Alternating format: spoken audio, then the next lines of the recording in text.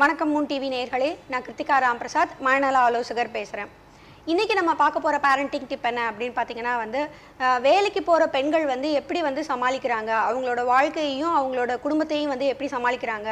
எப்படி சமாளிக்கலாம்? அந்த சமாளிக்கிறதுக்கு அவங்களுக்கு என்னென்ன மாதிரியான சவால்கள்லாம் இருக்குது அப்படிங்கிறத நம்ம இன்றைக்கி பார்க்க போகிறோம் ஒரு ஆண் வந்து வேலைக்கு போயிடுறதுனால அவனால் ஒரு முக்கியமான ஒரு கல்யாணத்துலேயோ இல்லை வீட்டில் ஒரு சுப நிகழ்ச்சியிலையோ வந்து அவனால் கலந்து கொள்ள முடியல அப்படின்னா வந்து இந்த சமூகம் வந்து அவனுக்கு வந்து முக்கியமான வேலை இருக்குது சம்பாதிக்கிறவன் அப்படின்னு சொல்லி அதை வந்து ஏற்றுக்கிறாங்க ஆனால் ஒரு பெண்ணால் ஒரு முக்கியமான ஒரு கல்யாணத்துலேயோ இல்லை ஒரு சுப நிகழ்ச்சியிலையோ வந்து கலந்துக்க முடியல அப்படின்னா வந்துட்டு ஏன் அவள் வந்து லீவ் போட வேண்டியதானே? ஏன் அவளால் இதுக்கு கூட வர முடியாதா? அப்படின்னு சொல்லிட்டு அவன் மேலே வந்து கேள்வி தான் வந்து கேட்கப்படுது. ஒரு ஆண் வேலைக்கு போகிறப்ப அவனோட வேலை முக்கியம் அப்படின்னு சொல்லி பார்க்க பார்க்கப்படுற மாதிரி ஒரு பெண் வேலைக்கு போகிறப்ப அவளோட வேலையும் முக்கியம் அப்படின்னு சொல்லி பார்க்கப்படுறது கிடையாது. அப்படியே வந்து இந்த சமூகம் ஏற்றுக்கிட்டாலும் நம்ம பெண்கள் வந்து இந்த சமூகத்திலே பிறந்து வளர்ந்து அதுக்கு வந்து கண்டிஷன் ஆயிட்டாங்க.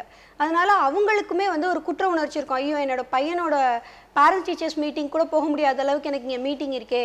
என்னால் என் குழந்தைக்கு ஃபீவர் அவனை லீவ் போட்டு பார்க்க முடியாத அளவுக்கு எனக்கு வேலை இருக்கே அப்படின்னு சொல்லிட்டு அவங்களுக்கு வந்து குற்ற உணர்வு வந்து அதிகமாக இருக்குது அது மட்டும் இல்லாமல் என்னதான் வந்து இந்த நாடு வந்து முன்னேறி இருக்கு ஆண்கள் பெண்கள் சமம் அப்படின்னு சொன்னால் கூட ஒரு ஆண் வந்து வீட்டில் வந்து ஏதோ ஒரு வேலை செஞ்சால் அது வந்து அவன் வந்து செய்கிற உதவியாக தான் பார்க்கப்படுது. ஆனால் பெண் வந்து வீட்டு வேலை செய்கிறது அவளோட கடமையாக வந்து பார்க்கப்படுது. என்னதான் ரெண்டு பேரும் வேலைக்கு போயிட்டு ரெண்டு பேரும் வந்து வீட்டு வேலைகளை செஞ்சாலும் வந்து ஒரு பெண்ணுக்கு வந்து அது கடமை. ஆண் வந்து பெருந்தன்மையாக வந்து உனக்கு கொஞ்சம் உதவி செய்கிறேன் அப்படின்னு சொல்லி செய்கிறதா தான் பார்க்கப்படுது. அதனால் சமமாக வந்து ரெண்டு பேரும் வந்து உதவி செய்கிறது ரெண்டு பேரும் வீட்டு வேலைகளை பங்கிடுறது அப்படிங்கிறது இன்றைக்கி வரைக்கும் இல்லை. நகர்ப்புறங்களில் கொஞ்சம் முன்னேறிட்டு வருது. இன்னும் மற்ற இடங்களில் வந்து இந்த அளவுக்கு இல்லை. அந்த மனப்பான்மை வந்து மாறவே இல்லை. சரி குழந்தைய வந்து இப்போ டே கேரில் விட்டுட்டு வராங்க.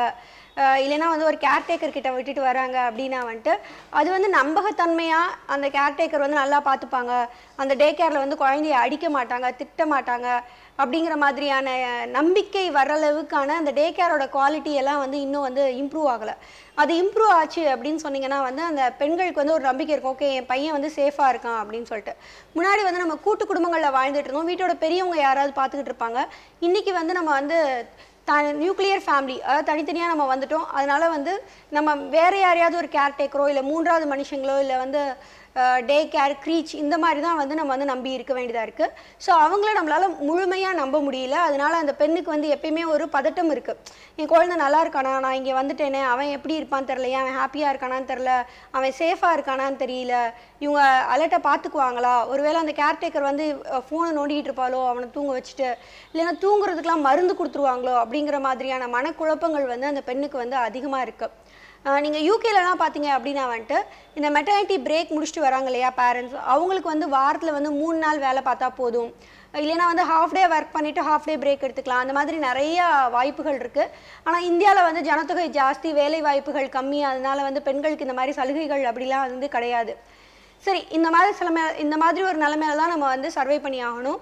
ஸோ இதை எப்படி பெண்கள் வந்து சமாளிக்கலாம் அப்படின்னு பார்த்தீங்கன்னா வந்து அதுவும் இந்த மெட்டர்னிட்டி பிரேக் முடிச்சுட்டு வேலைக்கு போகிறாங்க இல்லையா? அந்த பெண்களுக்கு வந்து ஒரு மன போராட்டம் வந்து ரொம்ப அதிகமாகவே இருக்குது ஸோ அவங்க என்ன பண்ணலாம் அப்படின்னா வந்து குழந்தைங்கிட்ட கொஞ்சம் கொஞ்சமாக சொல்லி வந்து புரிய வைக்கலாம். இப்போ ஒரு ரெண்டு வயசு மூணு வயசு ஆனதுக்கப்புறம் வேலைக்கு போகிறவங்க வந்து குழந்தைக்கு சொல்லி புரிய வைக்கலாம். அம்மா வந்து இந்த மாதிரி வேலைக்கு போயிடுவேன் காலையில் போயிடுவேன் ஈவினிங் வருவேன் அப்படின்னு சொல்லிட்டு மைண்ட் வந்து செட் பண்ணி வைக்கலாம். அதே மாதிரி நீங்கள் வந்து டைம் மேனேஜ் பண்ணிக்கலாம். ஸோ டைம் மேனேஜ்மெண்ட் அப்படிங்கிறது ரொம்ப முக்கியமான விஷயம். ஸோ நம்ம ஒர்க்கை வந்து நம்ம ப்ரையாரிட்டைஸ் பண்ணிக்கணும். எந்த ஒர்க்கை நம்ம எப்போ பண்ண போகிறோம் அப்படிங்கிறத வந்துட்டு.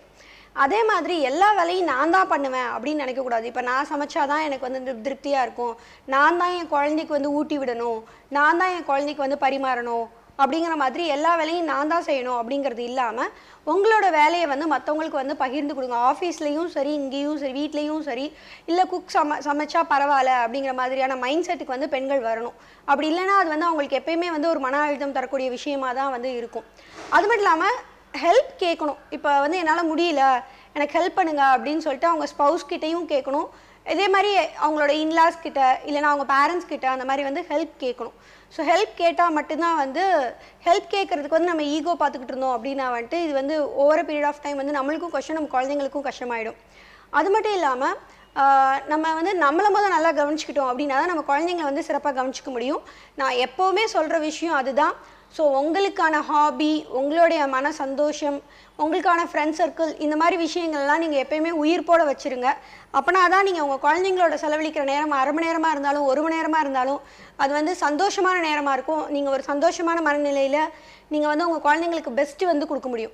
ஸோ குவாலிட்டி டைம் அப்படிங்கிறது தான் வந்து ரொம்ப முக்கியம். அதே மாதிரி வீக்கெண்டு தான் வந்து ரெ- ரெண்டே ரெண்டு நாள் தான் இருக்கும் உங்களுக்கு எல்லா வேலையும் வந்து கவனிச்சுக்கிறதுக்கு. அந்த எல்லா வேலையும் கவனிச்சுக்கிறப்ப வந்து உங்கள் குழந்தைங்களுக்கு வந்து நேரம் செலவிடுறது உங்கள் குழந்தைங்களுக்கு தேவையான விஷயம் எல்லாத்தையும் பட்டியலிட்டுக்கோங்க. பட்டியலிட்டு அதில் எதை முன்னாடி முன்னாடி செய்யணும் அப்படின்னு சொல்லி பிளான் பண்ணி பண்ணுங்கள் நீங்கள் வந்து ஏதோ ஒரு விஷயத்தை வந்து தள்ளி போட்டுக்கிட்டே போனீங்க அப்படின்னா உங்களால் அந்த விஷயத்தை முடிக்கவும் முடியாது. உங்களுக்கு வந்து அது மனசில் வந்து ஒரு பாரமாகவே இருக்கும். இந்த வேலையை பண்ணணும் அப்படின்னு சொல்லிட்டு ஸோ உங்களை குழந்தைங்கிட்ட நீங்கள் செலவிடுற நேரம் வந்து உயிர்ப்போடு இருக்காது. அதனால உங்களோட நேரத்தை நீங்கள் சரியாக பிளான் பண்ணிக்கோங்க. சரியாக உங்களோட வேலைகளை பட்டியலிட்டுக்கோங்க. உங்களுக்கான டைம் எடுத்துக்கோங்க. ஹெல்ப் கேளுங்க. இந்த மாதிரி பண்ணீங்க அப்படின்னா உங்களோட லைஃப்பையும் உங்களோட குழந்தைங்களையும் உங்களால் சுலபமாக பேலன்ஸ் பண்ண முடியும். இந்த பேரண்டிங் டிப் உங்களுக்கு பயனுள்ளதாக இருக்கும் அப்படின்னு நான் நினைக்கிறேன். இதே மாதிரி இன்ட்ரெஸ்டிங்காக இன்னொரு ஒரு பேரண்டிங் டிப்போட உங்களை நெக்ஸ்ட் எபிசோடில் மீட் பண்ணுறேன் until then bye from Kiruthika Ram Prasad